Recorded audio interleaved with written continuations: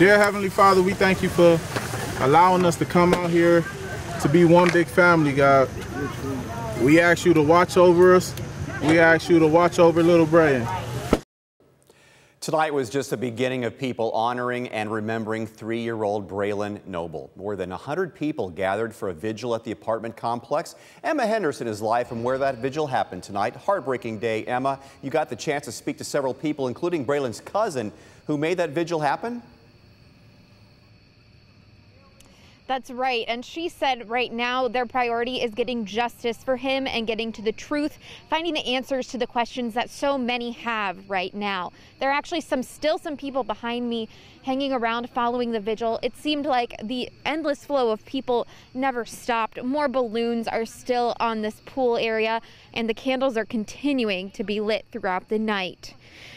Now, neighbors decided to put this vigil together because they wanted to make sure the little boy is remembered. Everyone was asked to bring candles. Some of the people were neighbors, others volunteers, and some have just been following the story since he was first reported missing, and they wanted to pay their respects.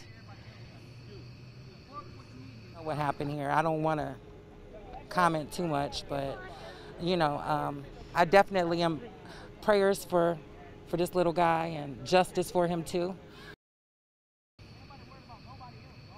Now coming up at 10:30, we are going to have a full report on that vigil and a little bit more about what his cousin and some neighbors had to say following the news today. Reporting live in South Toledo, Emma Henderson for WTOL 11 on Fox 36.